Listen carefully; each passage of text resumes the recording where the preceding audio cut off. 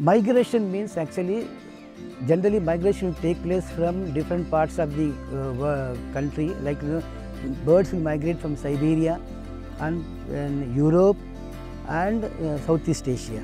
So many bird species they will migrate. The migration, why migration will take place? Migration is only because for the breeding purpose and also for the feeding purpose.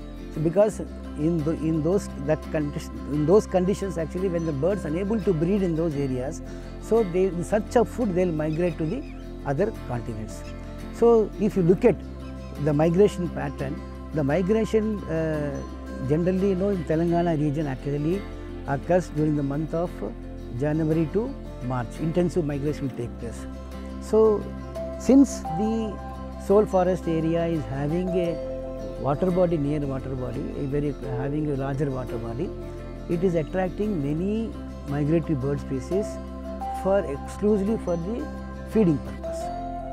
But even sometimes here local migration also will take place. Local birds which are actually uh, feeding elsewhere for breeding purpose or for the feeding purpose they will come visit these areas for uh, to get the desired uh,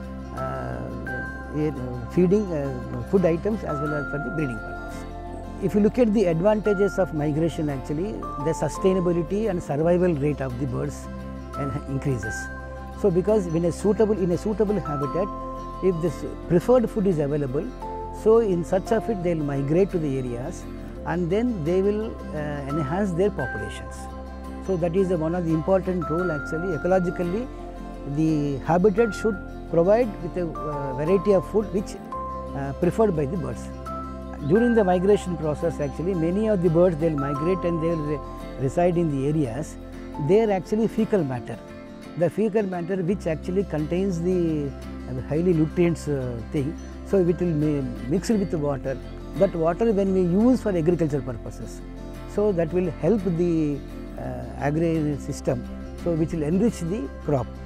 For a classical example is grey pelicans actually which migrate to from the uh, different par- from Philippines to India. So there actually these grey pelicans they prefer to roost in a uh, trees in a water body. Their droppings actually which helped the farmers in near Andhra Pradesh Nelapattu area actually helped the farmers to enrich their uh, agricultural lands by using this water.